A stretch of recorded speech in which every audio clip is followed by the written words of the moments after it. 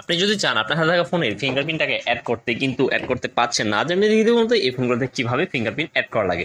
আর আমার হাতে যে ফোনটি রয়েছে, সেটা হচ্ছে ওয়ালটন ব্র্যান্ডের একটা ফোন ওয়ালটন ফ্রিমো ওয়ারবিট ওয়াই টোয়েন্টি ওয়ান এইটাতে আপনি যদি ফিঙ্গারপ্রিন্ট অ্যাড করতে চান তাহলে আপনাকে সর্বপ্রথম যে কাজটি করতে হবে, সেটা হচ্ছে আপনার হাতে থাকা ফোনের সেটিংস নামের যে অপশন রয়েছে, সেই সেটিংস নামের অপশনটা কিন্তু খুঁজে বের করতে হবে।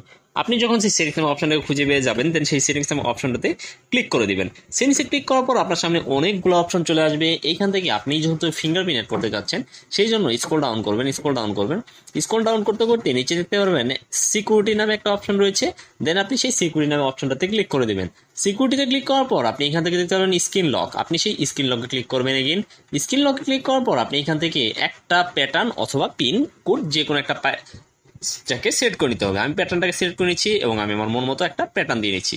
যেমন আমি এখানে প্যাটার্ন দিচ্ছি এম তারপর এখানে নেক্সটে ক্লিক করব, তারপর এখানে আবার দিব এম এমতে ক্লিক সরি এখান থেকে আবার এম দিব।